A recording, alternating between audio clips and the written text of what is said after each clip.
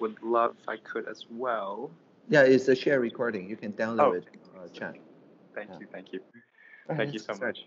Uh-huh. Um, I'm so impressed by what you've been doing um, this chunk of time, and uh, really, really excited to speak with you. I Mhm. got to hear you speak in Berlin, Ah, um, and um, yeah, I've been looking forward to this. Thank you so much. sure.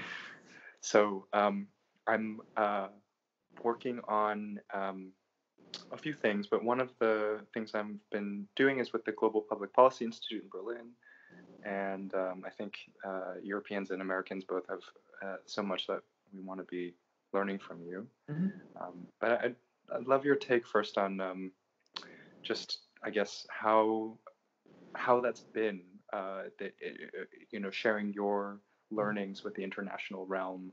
Mhm. Um, has that been, uh, you know, first, you know, how, what, what has that been like in terms of sharing those best practices? You know, I, I remember during your time in Berlin, someone asked, uh, you know, it was, it was, it was for me so interesting to see how many Germans responded and said, "Oh, we can't do what you did in Germany."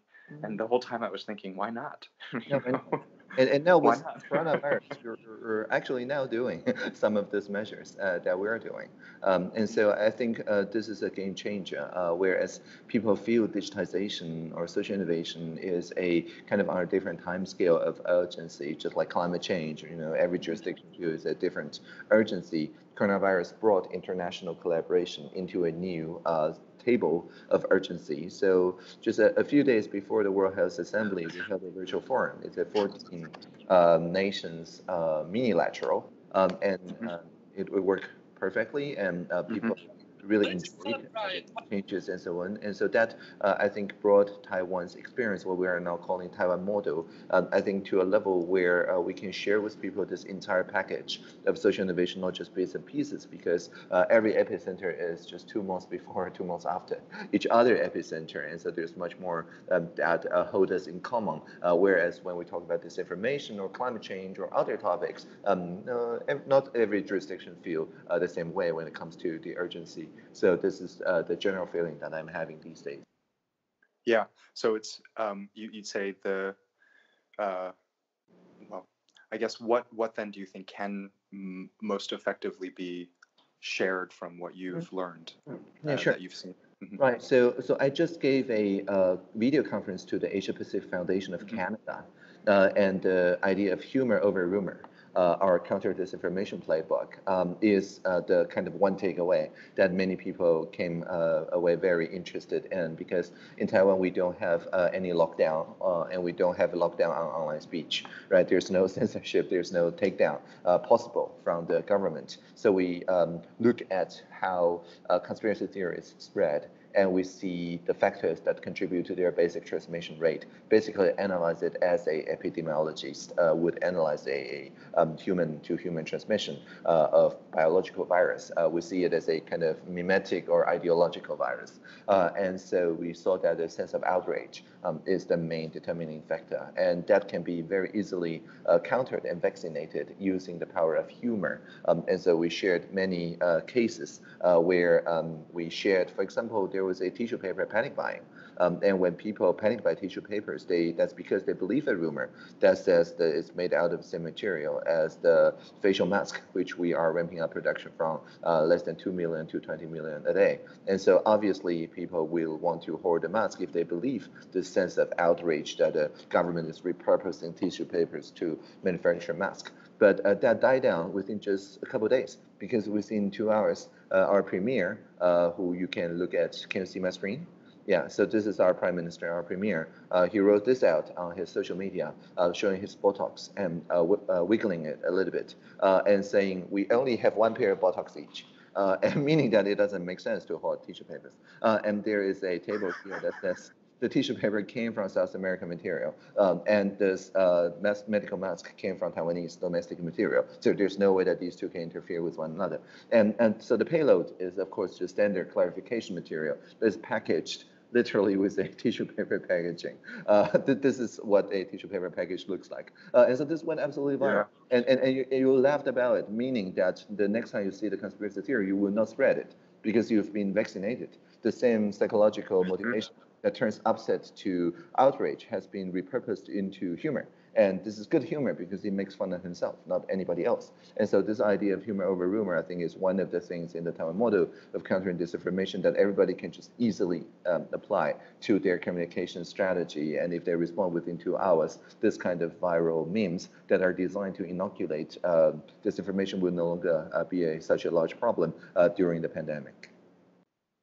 That's that's brilliant, and and um, you know, uh, so so one of the one of the challenges with disinformation is once it once it starts once you see it uh, the first time um, even if it gets corrected right you you hang on to if you already agreed with the disinformation or the general um, message of the disinformation um, it's hard to uh, it, it's hard to inoculate post right do you feel like um, you mm-hmm. found yeah, ways which to is why responding uh, within two hours is so important right. uh, because vaccination mm-hmm. doesn't work as a cure right it, it's, it's a different thing uh, and when you already uh, believe in something else then of course it's harder uh, to correct the message afterward but we do that uh, still using daily press conferences every day there's a live press conference where the journalist and indeed anyone can pick up their phone and uh, spread uh, whatever uh, their um, conspiracy theories uh, at the Central Epidemic Control Center, and they will develop a counter response. For example, um, there was one day in April uh, where um, there's a, uh, because we do mass rationing, there's a district, I think, that only get pink medical mask as their supply. Uh, and uh, there was a boy that refused to go to school because he doesn't want to wear a pink medical mask, saying that their uh, schoolmates will laugh at him. Uh, and and the, the people uh, were, of course, responding to it uh, by encouraging him and so on. And, but that doesn't quite work because he just thinks he will get bullied for wearing a pink medical mask. And so this is a post response, right? So um, so a day after this happened, and the 1922 hotline received this um, message. This is our counter response a day after, not two hours. Everybody uh, in the Central Epidemic Command Center, including the minister, start wearing pink medical masks.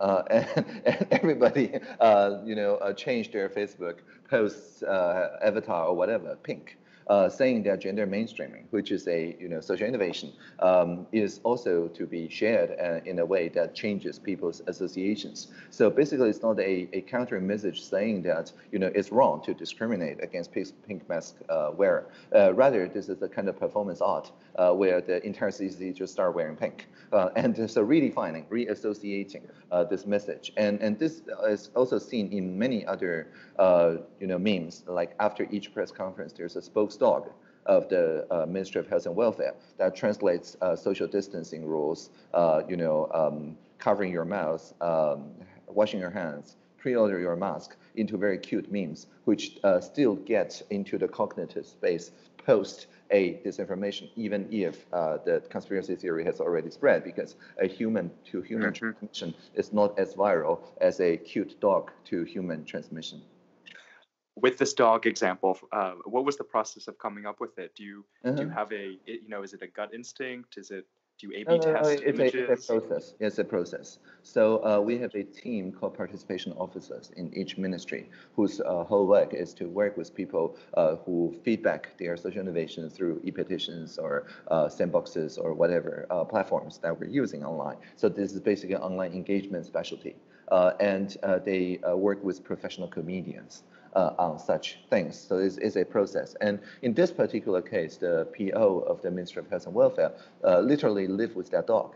Uh, and so, um, and their home is like uh, 10 minutes walk from the Ministry of Health and Welfare. So anytime they need a new picture, instead of paying Shutterstock or something like that, they just go home and take a new picture of the new post of the dog. Uh, and so this is uh, basically what people would do on Instagram, right? If they want to garner a lot of followers, they just post a lot of cute cat or dog pictures and, and their uh, living experience with them. It's just that they imbue each such new picture with a new public health announcement uh, message. Uh, and so this is a mimetic delivery. Uh, and it was, uh, of course, uh, not that easy to get everybody to accept that. But after the loss of the local election by um, by many considered as a you know conspiracy theory taking interference uh, into national referenda and elections uh, for the past um, year uh, and a half, uh, we have been perfecting this art of uh, what we call humor over rumor, uh, which at the first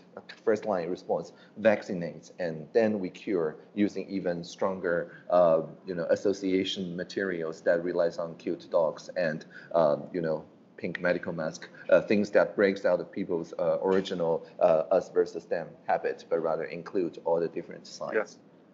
Yes, and and um, like rumor, humor is so context specific, mm-hmm. right? Um, what what Taiwanese people find funny or cute mm-hmm. might not be true for Americans, so we couldn't just copy the dog, right? But uh-huh. I think, um, but uh, but there's there's something very powerful at the macro level of humor over rumor. I guess what other pieces of this participatory process that you're speaking of, how would you distill that down into something that um, other other mm-hmm. other communities can mm-hmm. can copy? Right. So uh, the the three keywords are fast, fair, fun right? So um, fast means that you iterate. You, you cannot start perfect. So the, the basic thing is that you uh, have a hotline where people can tell you what you got wrong.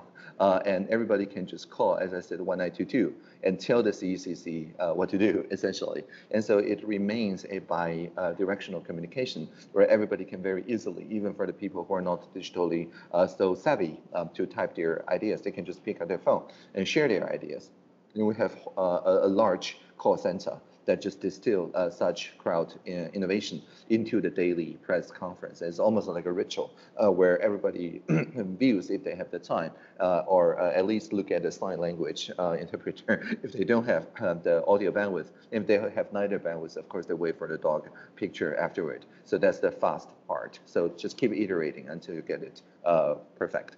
And then the fair part, which it means that everybody can look at the hard data so the mimetic uh, picture uh, doesn't work unless you have the um, data to back that, those tables up, right? So and the data is participatory, meaning that when we say there's uh, no shortage of mask, we don't uh, say it in a top-down manner. We say we publish the real-time stock level of all pharmacies every 30 seconds at that time, now every three minutes. So everybody can walk to a nearby pharmacy, use their national health card to get nine medical mask if you're a adult or 10 if you're a child every two weeks and see the stock level of that pharmacy deplete by 9 or 10 after a couple of minutes on your phone using more than 100 tools, including chatbots. And these are all created by the social sector. So the whole point of trusting citizens with real-time open data is that people can hold each other accountable. And then people can do analysis that tells us where did we get wrong, like oversupply or undersupply, uh, and uh, tell us to work with people who uh, work uh, long hours who cannot collect the uh, mass from pharmacies because they would uh, close for business uh, during that late at night. We work with convenience stores and on, on those pre-ordering system. So the fair part ensures that we are inclusive and people who are left off have a way to work with civic technologists to inform each other and also tell the government what to do. And of course, we are already um, do the fun part. So uh, fast and fair, I think, is the building blocks that enable the fun. The fun by itself doesn't work unless you have a fast iteration and you have a fair allocation uh, and trusting citizens with open data. Yes. Um, you, you mentioned this participatory uh, role of citizens, right? And I'm curious how you make sure that it's not just the most extreme voices, like mm-hmm. on an Amazon review, mm-hmm, right? Mm-hmm. Uh, to to to be the ones who participate? Mm-hmm. Well, uh, first of all, a, a call to 1922 uh, doesn't um, preclude anybody else from calling we just keep expanding the call center.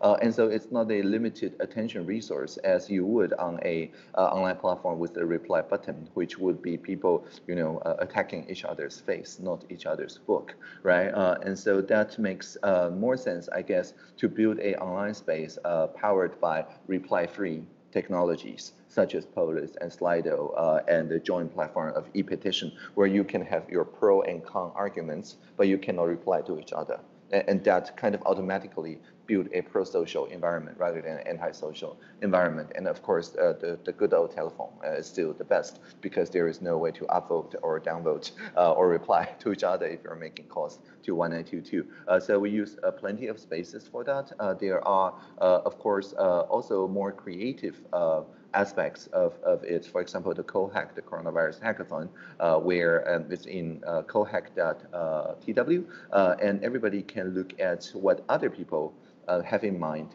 Uh, I'll switch to the English part. Um, have in mind, for example, for uh, these countries and these people who responded to the call for open source solutions, they get the the winning prize is a electric um, rice cooker uh, that you can use to disinfect your mask. I made a video uh, on that. And so on those themes, manage community resource, make smooth transition to a new world, protecting vulnerable groups, protecting uh, future pandemics, supporting frontline staff, and establish data-driven uh, risk communication. We use the Polis technology where anyone can submit their ideas and upvote and downvote, but they cannot um, reply to each other.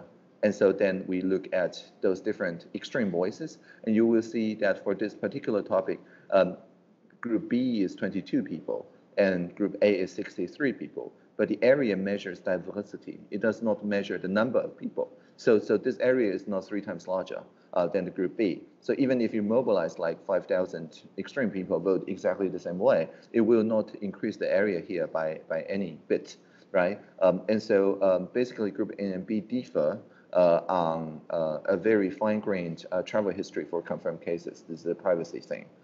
so because they don't manage to convince each other, this doesn't become the CoHack topic.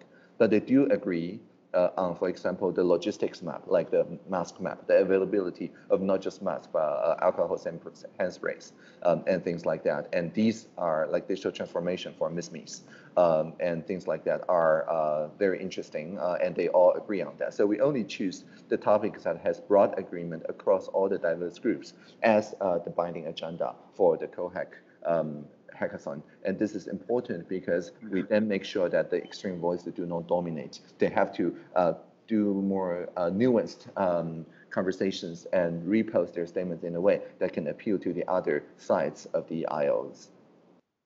Mm-hmm. Um, you know, I I, uh, I I get asked, uh, and I think a lot of people wonder why Taiwan has done so well um, in in handling COVID. Mm-hmm. Uh, and fun, fast, fast, fun, fair, fun is uh, seems to be, and humor over mm-hmm. rumor seems to be a, a part of the strategy. Mm-hmm. What other mm-hmm. reasons uh, would you and mm-hmm. explanations would you give?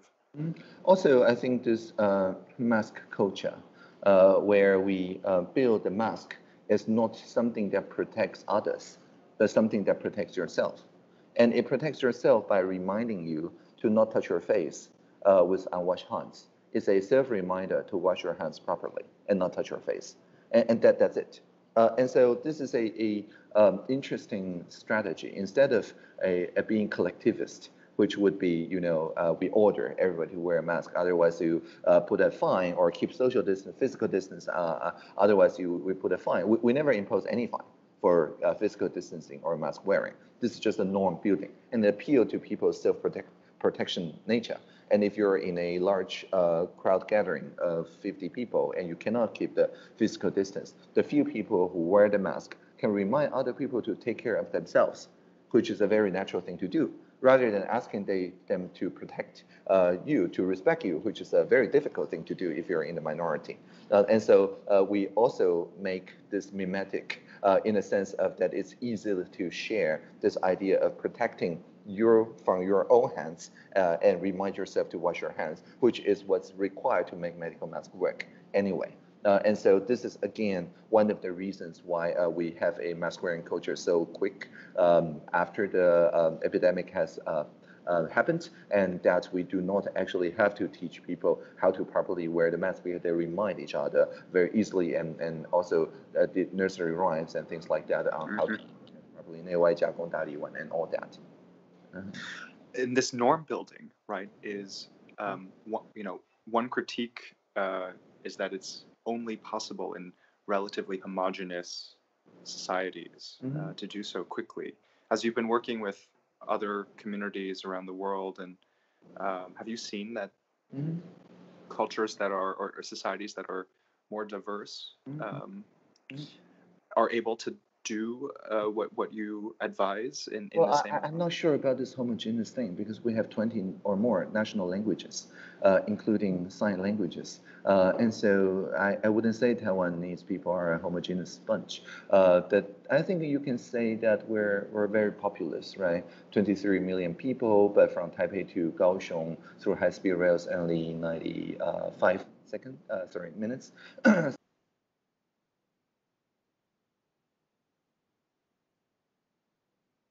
So the population density, which is much higher in Taiwan, I guess is uh, both good for norm building because there's more social examples to, to look at, but also harder from an epidemiology standpoint uh, because it's much easier for virus to spread, just like it's easier for idea to spread. So the high density is um, is double-edged, I guess. But I, I wouldn't say that this is homogeneous at all. I would say that we work on a norm that appeals uh, to the common human nature of, of enjoy humorous um, messages of uh, liking cute dogs and cute cats uh, and of uh, self-protection and taking care of your family and things like that. So we are working on more universal message when we don't have the top-down lockdown or other top-down um, emergency order or whatever constitutional uh, powers. We never declare an emergency situation, so we have to, um, you know, realize this counter-coronavirus strategy by essentially a co-learning culture by making everybody a fellow epidemiologist uh, amateurly uh, and so our vice president at that time uh, recorded this whole online course um, that teaches epidemiology 101 to lay audience. and, um, and you can see here at Taiwan Can Help that us, who can help Taiwan. and if you scroll down a little bit, you will see the crash course and recorded by VP Chen Chien-jen, uh, and uh, actually the epidemiologist, not only a vice president at the time, but he literally wrote a textbook on epidemiology, a academician. Uh, and so he is uh, both a political Hi, and uh, health authority. And he explains the R naught value, wear mask, washing your hands, how the dynamic work, how quarantining works, policy for testing, and so on in a very easy to understand uh, manner, and treating essentially everybody as adults uh, as fellow um, practitioners of epidemiology. And this is as opposed to uh, this idea of, um, you know, people need to be kept in the dark, are obedient, Confucian, collectivist, or, or things like that. This is treating everybody as adults and making sure that people understand the why of each uh, policy measures. Yes. With content like this, uh, one, one challenge is getting people to actually. Watch the whole thing, right? Oh, yeah, yeah. Um, and pay attention. How do you think mm. that piece through? Uh, professional YouTubers, uh, the the YouTubers they, they participated. They literally crowdfunded this website. This is not a government website. This is just a crowdfunding campaign, uh, and and done by you know the, the leading YouTubers, and they all took quizzes. Um, and test each other's knowledge about epidemiology and found that there's uh, um, sense of, uh, you know, we don't know the essential uh, science uh, behind what we're doing. Uh, and then uh, they promoted this film uh, on a the leading massive online course um, platform, the Hahow. So within a few days, more than 20,000 people enrolled, and then they taught their friends and families. I'm one of the people who enrolled. That's um, that's amazing. I, I, I'm also curious how you make sense of communities outside of your direct authority, right? I, excuse me. Let me let me re- rephrase that. I, I, guess I mean, you know, Taiwan is able to keep the numbers for the for COVID down, mm-hmm. um, but it's uh, it's one place in mm-hmm. in a in a broader world where um, others are not following the same mm-hmm. norms or well, uh, same regulations. Are, right? Uh, uh, Prime Minister Ardern said, we're pretty much doing whatever Taiwan is doing, right? Uh, and, and they're also doing quite well. Um, and, okay. and so, so yeah, the Taiwan Can Help That Us website is a distilled version of the Taiwan model that we're happy to share to other jurisdictions. Uh, and if people do not want to listen to the crash course uh, offered by our president, uh, we uh, sorry vice president, um, we we also share this uh, what happens next. Uh, it's a really good interactive um, game that you can just just like watching a comic. Uh, learn epidemiology and learn the uh, SIR model. You can even experience uh, with the lockdown scenario, how contact tracing works, and things like that, uh, and see how those um, herd immunity, ICU capacity, and things like that, uh, and how that uh, can successfully counter the coronavirus uh, just by proper use of mask and things like that. And so uh, there's, of course, also a local trans translation uh, of that. I think it's been translated to many, many languages. And if you're interested in helping uh, it to translate to other languages, um, that, that's great. There's also a German uh, language on that. So I think that's the content that we can not only contribute, uh, well, it does say Taiwan here. Warte mal, haben Taiwan und Südkorea nicht bereits in der Griff bekommen, right? So, uh, and, and that is, um, I think, important to provide the raw material, the open data, so that the people who specialize in digital storytelling um, can then make such interactive storytelling pieces based on the data that we provide. And what about the collection of data? Mm-hmm. How do you ensure privacy or um, we don't how, collect you know, extra data. Mm-hmm. Okay. Yeah. So there's no so, there's no Bluetooth app or anything like that. Um, why do you think everyone else is so obsessed with data collection as as the main focal point of of the response? Well, I think that's because in Taiwan uh, we had to work uh, with the constitutional limit. We don't have an emergency situation, so everything we do need to be pre-approved by the legislation. So we're bound by the Personal Data uh, uh Protection Act. So our solution space is already very constrained to begin with. Uh, this is much like our counter disinformation strategy. We have to innovate on humor over rumor because there is no constitutional um, authorization for us to take down any content uh, on the social media. So we have to, to innovate in a way that doesn't uh, overextend the administrative powers. Um, but I think this is a, a great opportunity for the social sector to jointly control its data collection, to care about their own health records uh, to each other. Uh, indeed, the CoHack winners are all about, uh, you know, um, making a record of your personal visits and things like that, your temperature, but not sharing it to the public or to the state or any company, but just uh, among the people who care about you, like your immediate family and things like that. And when the contact tracer do come to you, there's a uh, one-time URL that you can share with them that only talks in professional contact tracing terms, so that you will not accidentally reveal the private information uh, of your other uh, friends and families that you have contact with. So getting contact tracers, the information they need without compromising privacy. This is called privacy enhancing technology or PET, and this is um, very hip uh, in Taiwan. Uh, so I think the other jurisdictions, uh, they may focus on data collection because they do want to extend their power. Uh, even uh, for state surveillance, like um, sharing the data uh, all to a trusted uh, party.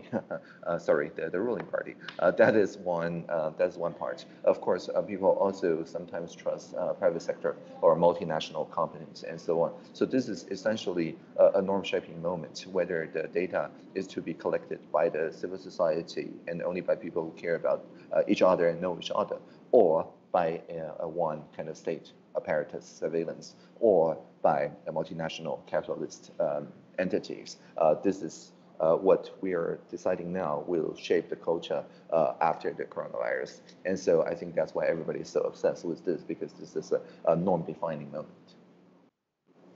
Um, and I guess what I um, are you saying that then the data collection if if you shape the social norms properly, right, that mm-hmm. the data itself is not as integral, or are you saying that the data collection from as a as a grassroots effort where yeah. it's, yeah, it's that, spread out is, is yeah okay. this is uh, basically instead of data literacy or media literacy which is people as consumers uh, of media uh, and passive um, you know objects of data collection where instead of saying that we need to have digital competence, which means people are producers of media, uh, amateur journalists, and also curators of data, data contributors. And when people voluntarily curate their data, of course, they only want to share it in a way that are pro-social and that makes sense to their friends and families. And this is what I call the uh, social sector norm building. Uh, and I think this is a superior model um, to both the state surveillance model and the capitalist model. What is a challenge that you're currently uh, working on? um, this travel bubble um, thing, how to uh, make sure that we trust each other's numbers, for example, between Taiwan and New Zealand, uh, in both mm-hmm. testing before and after landing a flight, uh, and that we can uh, relax uh, the physical distancing or large crowd gathering rules domestically while still allowing for limited uh, international travel. This is how to balance. I mean, if we only allow for returning um, citizens in Taiwan, then of course with the current border control and the quarantine, uh, we're reasonably sure we've been like 40 days with no local confirmed cases now. It's very safe. Taiwan's very safe now. Um, so we can remain that safe. However, we also want to resume international travel with other economies um, that have also countered the coronavirus, and that uh, create additional risk both sides. So we have to do risk communication and uh, also norm building. Like if I wear a mask to New Zealand, I want to land in New Zealand still wearing this mask, right? Uh, and and so uh, making sure that this is properly communicated uh, is a challenge because then it entails um, a uh, kind of mini-lateral agreement on many things. May I ask what you're reading these days? Uh, well, I am cautiously optimistic uh, that uh, we have a sufficient um, interest. Uh, as I said, the 14 um, economies uh, pre-WHA uh, minilateral. Um, I think people are very enthusiastic on resuming some business travel. And I, I have to ask what your take is on sure. the global politics with WHO mm-hmm. and uh, you know the this the role of Taiwan in in in uh, in the WHO's work broadly.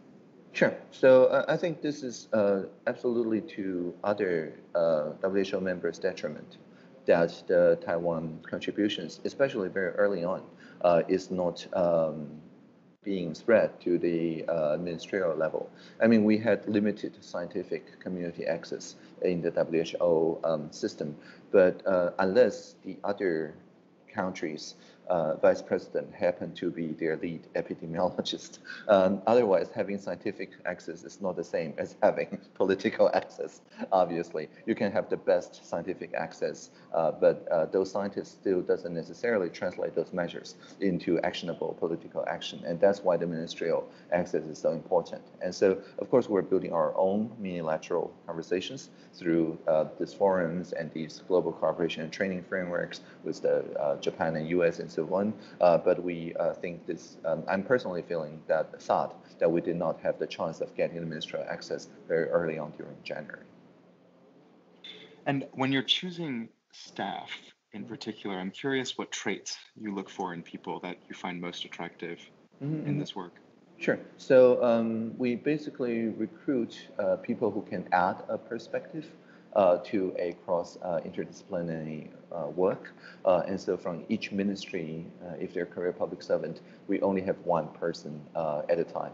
So meaning that, uh, for example, the foreign service, uh, they have easily more than a dozen people want to join in my office. But if they all join, we become a section of the foreign service, right? So um, it, it has to offer um, a, unique perspective, that's first. And also, although they still report to their like foreign service minister, um, they need to give to share as much as they take at least. That is to say they must be willing to work out loud, not only to work uh, with other people's best practices, but also contribute their own best practices for other um, people who are uh, deployed from their ministries. So for example, when the Ministry of Culture uh, discovered that uh, if you award uh, people afterward instead of doing re, uh, reimbursements like KPI uh, matching things. And it massively simplified the incentive structure, and they share that. Then the Ministry of Education um, um, design uh, designated uh, employee here, uh, staff here, uh, then learns about this and then can influence the Ministry of uh, Ed Education to choose this new method as an alternative to procurement. Uh, and so all these innovations just spread very easily if you want to uh, share as much as you want to take from other people's sharings. So these two are the HR criteria. And how can others, we've been talking about how Taiwan can help other communities. How how can others help Taiwan? Mm. Well, uh, spread the message of the Taiwan model. Uh, Taiwan can help than us, uh, and spread the hashtag Taiwan can help, and Taiwan is helping. Uh, and so then build epicenter to epicenter relationships we're all very happy to work on, for example, um, privacy enhancing technologies uh, through the CoHack and many other um, endeavors. And so, yeah, just just you know follow us on Twitter, I guess. And I, you know, on that point, when you talk about this work, you mostly are mentioning technologies that already exist, right? Mm-hmm. Um, and I'm wondering how much of the work requires new technological innovation and how much of it is really just utilizing technologies that exist in new ways. Mm, yeah, uh, well, because uh, we are very agile, meaning that we have to come up with responses to the societal expectations literally every day or at least every week. Uh, we do not have time uh, for uh, you know very long incubation periods uh, when it comes to research and science. Of course, the medical research is going on. with rapid test vaccines and, and drugs. These are new technologies, obviously. but on the digital side, we mostly just um, um, reappropriate uh, appropriate technologies uh, as we see fit instead of uh, doing any um, new novel applications. But we do shorten the iteration cycle a lot. So like on the traditional open data platform, which data is published usually every day, at maximum, uh, we change it to publish every 30 seconds to enable distributed ledger like um, accountability framework. And that's new, but this is just a new interval of a existing technology. It's a new uh, application uh, uh frame rate, I guess. Uh, but otherwise, there's nothing new here. Thank you so much. If, if you have any closing words that I uh, could share also in this, yeah, sure, sure. I think the, the government should trust its citizens the more you trust your citizens, uh, the more the citizens will be able to innovate and uh, let you know what's really going on and, and what you do. And to give no trust is to get no trust. Thank you so much, Audrey. Thank you so much. I, um, I really appreciate it. Good luck. Yeah. Thank you. Bye. Thanks.